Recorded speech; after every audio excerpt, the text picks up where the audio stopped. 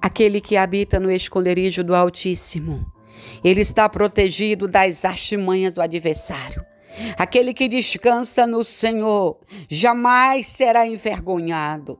Aquele que renova suas for forças em Deus jamais será derrotado.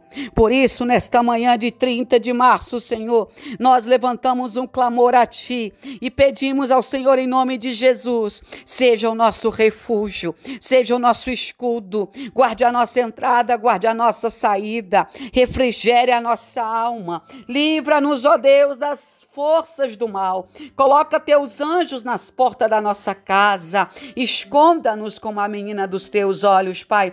Nós entregamos nossas vidas em tuas mãos, Senhor. Livra-nos do laço do passarinheiro e da peste perniciosa. E que hoje, mais uma vez, tua graça e misericórdia sejam sobre nós, em nome do Pai, do Filho e do Espírito Santo.